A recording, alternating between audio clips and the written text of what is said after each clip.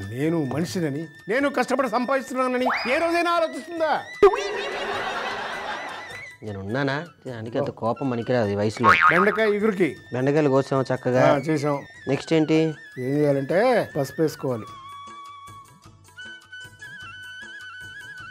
ఇందులో ఉప్పు వేయకూడదు. ఇప్పటికే బీపీ తమరికి ఎక్కువగా ఉంది. ఇంకో ఉప్పు వేస్తే తారస్థాయికి వెళ్ళిపోతుంది. నా ఉద్దేశం అది కాదు. మరి? ఇందులో ఉప్పు వేస్తే బెండకాయలో నీరు బయటకు వచ్చేస్తుంది. అందుకని ఉప్పు వేయకూడదు అనమాట నీళ్ళు కూడా వేయకూడదు. ఓకే. ఆ, ఇప్పుడు ఏం చేయాలంటే ఆ మూకుడు తీసుకొచ్చి పెట్టి పెద్దది. కాస్త ఏ మాటకు ఆ మాట చెప్పుకోవాలి బాబాయ్? కాస్త నువ్వు కోపాన్ని తగ్గించాలి సుమి. నీకు కూడా అలాంటి పెళ్ళం వస్తే అప్పుడు తెలుస్తుంది. ఎంత కోపం ఉంటుందో ఎంత కాలుతుందో. ఇచ్చి బాబాయ్. సరేగానే. అందులో నూనె. నూనె బాగా కాగాలి. మంచి సెగ మీద పెట్టు. తగ్గించుకోకు. ఇదిగో అక్కడ జాలీలో ఇది చూడు. ఆ గిన్నె తెచ్చి ఇక్కడ పెట్టుకో. అప్పగా పెద్దదా అది తీసుకో. ఈ వేసిన తర్వాత ఊరికి అటు ఇటు వేపకూడదు. రెండు విడతలుగా వేసుకోవాలి. ఇప్పుడు ఏం చేయాలంటే ఇందులో తీసుకుని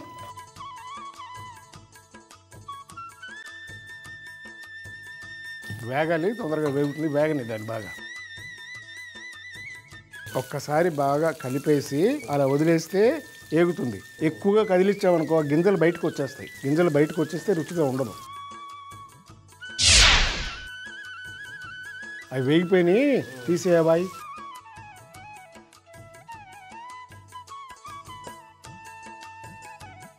ఇప్పుడు మళ్ళీ వేసుకోయి.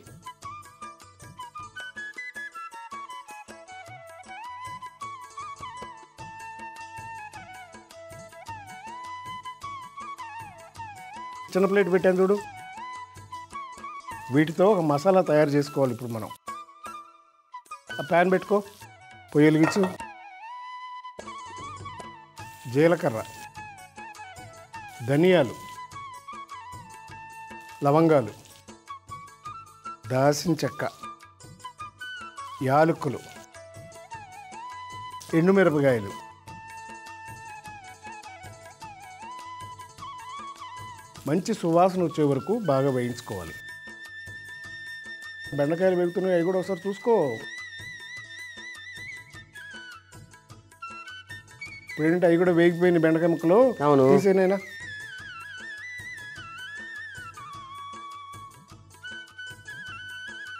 ఇది వేగిపోయింది ఆఫ్ చేసేయి. ఆఫ్ చేసావు కదా అది కూడా పక్కన పెట్టు. పెట్టేసావు కదా రెండు అది కూడా పోయి ఆఫ్ చేసేయి. తురిమిన ఎండు కొబ్బరి కూడా వేసుకోవాలి.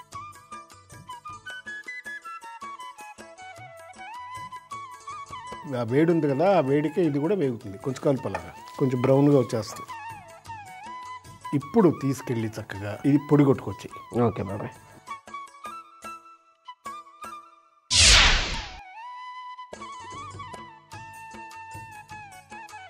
నూనెలోనే మనం తాలింపు కూడా వేసుకోవచ్చు. ఓకే తాలింపు పాలు పెట్టి పట్టరా చెప్తాను నేను. అలా పెట్టుకుని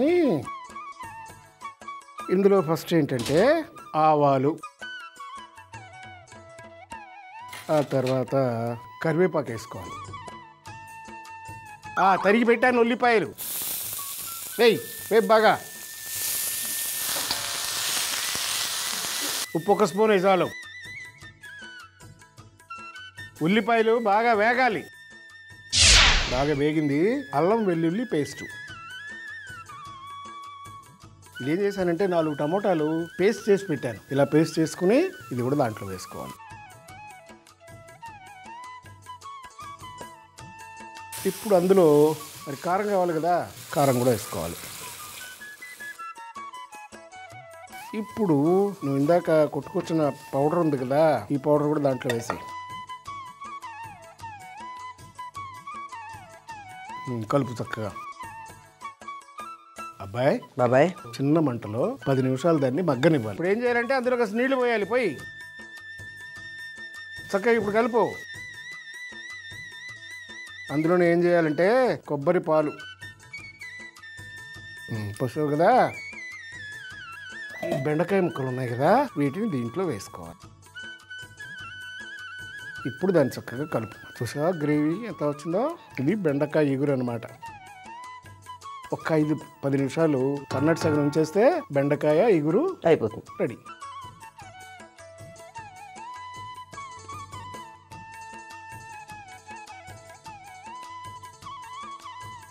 దానికి కూడా కొద్దిగా కొత్తిమీర